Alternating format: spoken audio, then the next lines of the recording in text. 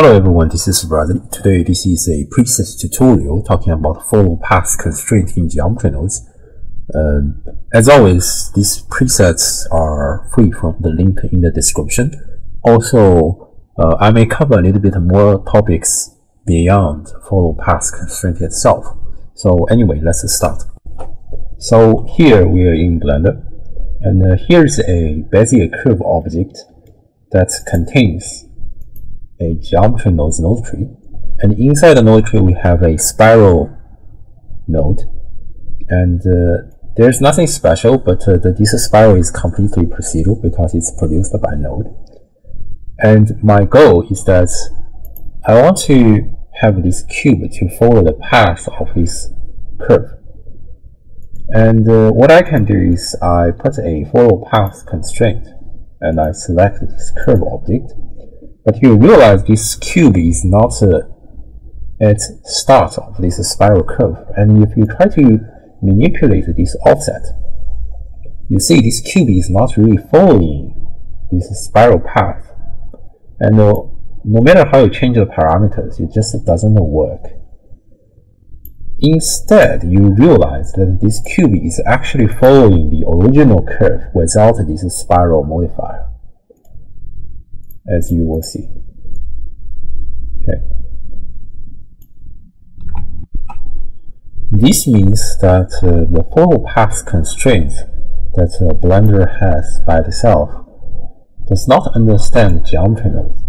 This is simply because the geometry node is such a new system that uh, all the constraints cannot really understand it. It's just like uh, Blender 1.0 will not be able to read the file of 4.3 because it does not contain geometry nodes or anything. Okay. I hope this is a understandable example. And uh, that turns out the reason why I have to build a follow path constraint using geometry nodes because geometry nodes must understand geometry nodes. So here, let's just uh, add a geometry nodes version of a follow path constraint uh, here that we can go to the cube and we can remove these constraints and uh, in the modifier we can just call this follow path constraint preset. And as mentioned before these presets are free from the link in the description. And this preset is quite straightforward that I only have this kind of curve object to select a factor to control and uh, some options that we will discuss later uh, right now I just need to select this curve object. It can be a mesh object as well, but usually you want to do a curve, so it does not really matter. And uh, with the factor, it's working on the normal curve. Okay, but obviously that's not what we're looking for, so we are going to turn on uh, the spiral tree to make it a spiral, and you can see this object is following this uh, modify the curve as well. Okay. What's unfortunate is that uh, geometry nodes currently do not support the control of lights or cameras. So that even if I want to have my camera to follow this uh, modified path, there's no modifier that I can add. And even if I try to use the follow path constraint, it will not do such kind of function, it will just follow the unmodified version of this curve. So that's very unfortunate because we made these presets to make the object to follow this modified path, but it does not work for camera. And this turns to be the reason why sometimes I still use animation nodes to do this kind of function. So that uh, my camera can just follow it without any problem. Okay, but obviously I no longer recommend people to study or learn animation nodes because it's such a complicated system. And 99% uh, of case, whether you are doing MoGraph or uh, visual effects, you do you do not need animation nodes. You can use geometry nodes to replace that most of the time. So other than that, let's go back to our examples of follow path constraint in geometry nodes. Uh, by itself, the factor goes from 0 to 1, which goes from uh, the start to the end of our curve. Okay, and uh, you can extrapolate that, which means you can run to the extension of our curves. For example, you can type 1.4. Then you can see our cube disappears. This is because the cube has been overshoot to very far. Uh, but you can try to manipulate these kind of parameters without any problem. Okay. And you can go to the other direction as well. For example, negative 0.4. But you actually see that this cube has been shoot to a direction which is not really expected. Okay. Uh, this is simply because sometimes the extrapolation uh, done by Blender is a little bit weird. So you flip the start, then it goes to a more uh, natural direction. There's no real rule uh, how Blender interpret that. So sometimes you have to do the menu flips to decide uh, which direction is what you are really looking for. Um, that's basically it. Next, I want to discuss this use radius option. It's not a very important option, but I just added that for whatever reasons. So um, it's basically to scale our object based on the radius of this curve. So for example, we can take a set radius, and you take a spline parameter. Spline parameter goes from 0 to 1 from the start to the end of this curve, just like our factor. And in this case, our cube initially has constant scale along this curve. But uh, as long as we're using this radius, which is set by this set radius node, you can see this cube is small, like a zero scale, but it turns to be one at the end. Okay, uh, I think this is a very useful function. Sometimes you do not want to use all this kind of uh, uh, edit mode function to tweak all this kind of uh, uh, radius, whatever stuff of your curve. You want to probably use some more procedural way and it can be used here. Okay. Next, let's talk about some basic concepts of how to build these presets.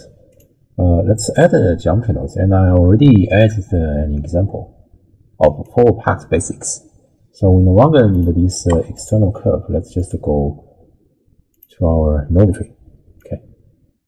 So this is a very simple node tree. That's I have a cube, and I have a transform node which is not doing anything right now. And I also have a spiral curve being generated, just like what we've done to the other object previously. So now I try to join geometry, so that I can see this cube and the spiral curve at the same time. And uh, to make this cube to follow this spiral curve, I can try to use this transform geometry, but I need to sample this spline. So we have this sample curve node. And once we put that, you can see it outputs a position. So we plug this position into the translation. And by manipulating this factor, you can see our cube is uh, basically following the path of this spiral curve. And if you want to see that more clearly, you can always join that so that you can see how it works. But this cube is not rotating around this spot. Sometimes this is what you're looking for. Other times it's not. So what you can do is you can do a axis uh, two rotations so that you put one axis, put the other axis, and you generate a rotation. So this cube is rotating along this curve. Okay. Uh, we may discuss another time about all these kind of rotation nodes in the future. But right now you just need to understand that this is the basic concepts. And if you want to make it follow the radius, we have this curve radius as a parameter. Uh, we have this uh, uh, radius, radius, radius. Yes, we have this radius of this curve to be sampled, and it outputs as a value, and you can plug that into a scale. This scale is kind of very small for our default spline, so what we can do is just set curve radius and we put a spline parameter. And by manipulating this effect, you can see this cube is following spline and scaling along with its radius. And if we turn that off, you can see the default radius is always very small for this kind of curves because all these kind of curves are initially made for hair object and the hairs are very thin so uh, they have a very thin default value that you have to tweak. But that's kind of other stories. But basically this is the concept. So far we are always talking about a single object. But uh, most of the time, if you are doing motion graphics, it's not a single object, it's many, many objects. And if you're working with instances, the concept will be a little bit different. You must not use transform geometry, but the concept of using sample curve node is still the same. And I'm not going to elaborate how to uh, build presets for uh, multiple instances following splines. I'm just talking about uh, the preset itself. So let's go with a different examples that I have uh, random curves being generated with this random helices distribution node. Uh, you can just instance curve or whatever, but I think this is just an easy way to uh, do it in this case. So these are just the random curves, and I want to have my cube to instance with them. So I'm just going to uh, add these presets or follow splines. Then I'm generating points around these splines. It's also using the sample curve node concepts I mentioned earlier, but it's just made in a different way that we're using points along the spline. And the benefit of doing that is that we can have a instance on points and I just instance these cubes. And if I want to follow this rotation, I just follow the rotation. So then I have this kind of cubes following it. Um, to visualize everything better, we can turn on these curves again as well, and we can scale down these kind of cubes. And I also have some variations of these kind of cubes available, so that some one is smaller, some other ones are uh, bigger. But anyway, and then you offset that and you can also extrapolate that if you want this extrapolate curve is built uh, separately so you can see how it's being made okay and of course you can try to flip and whatever Okay. these are discussed earlier, that you can flip star tangent, flip and tangent, and so on. So these are basic concepts. Here I want to remind you a fact that uh, sometimes you do not want to simply to have geometry following splines. Uh, for example, maybe I am scaling these cubes along the x-axis and uh, you see it's kind of uh, very rigid for these kind of cubes following these splines. You want to have a kind of deformation. In such kind of case, you're looking for uh, the curve modifier. But obviously, the curve modifier will not work in this case as well because neither does it understand geometry nodes as an old system. Okay, so we have to use geometry nodes version of curve modifier. So in this case, we are going to do it very differently. We're going to use a curve deformer. This is also a preset. I discussed it in some tutorials. Um, you may follow the right upper corners if you're interested in it. But basically to use that, you just input the curves to curves and you input the geometry to geometry. And so here we only have a single cube along with all these kind of curves. So we instance for each curve, and you can see the direction is a little bit uh, wrong. You can either use this orientation with a combine, uh, combine XYZ or combine rotation, or you can just do that with a transform geometry. and I guess it's y-axis rotating, yes. And we flow, uh, we have a flow on that. You can see these kind of cubes with enough subdivision is being distorted along these curves. And if you want to scale that, you scale that. And if you want to move that, you flow with it. Okay. So basically, the entire point is that if you want to have a deformation along as the curve, then use the curve deformer, which is which is a uh, geometry node version of curve modifier. Okay. Uh, the concept is basically the same as we discussed previously. It's still a different usage of this sample curve node. At last, I want to discuss uh, a different examples of follow splice. So in some kind of cases, uh, what people are looking for is, for example, you have a kind of a tank tract, and you basically have this kind of uh, tank tract, and you have all this kind of, I don't know how to call that, but a kind of a plates uh, running along this kind of a tract? And uh, they are kind of rolling, rolling, rolling, and cycling basically we want to have such kind of structures. So how to do it? Because whatever we are trying to do previously with all these kind of full spline examples, it's kind of a single cubes uh, on each spline.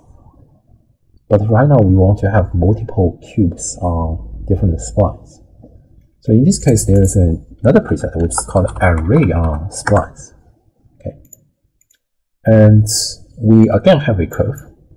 And it actually outputs a curve which sounds to be kind of very weird. Okay. Uh, but it's actually a lot of design issue. I'm not sure how to design it better because there are so many issues with it. But it looks kind of very bizarre but it will definitely work basically what you need to do is basically the same that you instance some points and you put your cubes onto that you can see we have lots, lots of cubes. And to visualize everything better, we are again to join the geometry to have our initial curves. And we can remove this extrapolate because I don't need that. But we can scale that down so that we can see actually a single spline always have billions of these kind of cubes. If you want to have the rotations, you can put the rotations into that. And what's very important here is if you turn this offset, you can see this kind of cubes is actually following this kind of splines in an array. Okay. This is kind of very nice. And if you want to loop that, you can see it says no loop. If you want to loop that, you just loop start and end.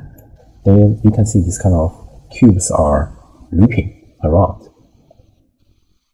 And maybe it might be better if you put that a curved circle so that everything is more clear.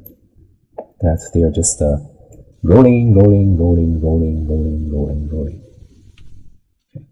so this is kind of concept there are some other things that you can potentially deal with yet but i'm not going to discuss yet today. Um, i think i've covered all this kind of related concepts they are all originate from the usage of sample curve node.